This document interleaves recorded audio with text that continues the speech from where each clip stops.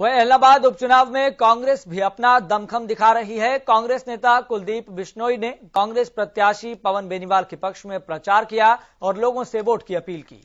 वहीं कांग्रेस उम्मीदवार पवन बेनीवाल ने कहा कि वे सिर्फ़ कांग्रेस ही आम आदमी का भला कर सकती है।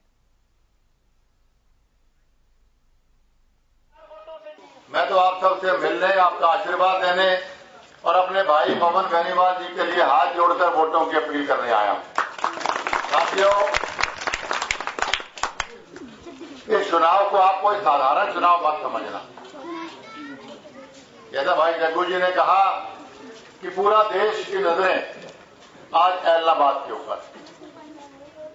कि आप लोग क्या फैसला लेते हैं?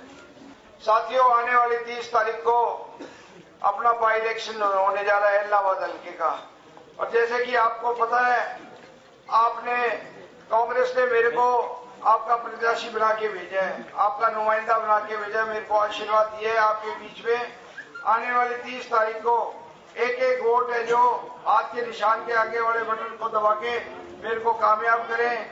इसी में ही हम सबकी कामयाबी है। साथियों, सिर्फ़ एक ही पार्टी है जो सबका भला कर सकती है, वो है कांग्रेस।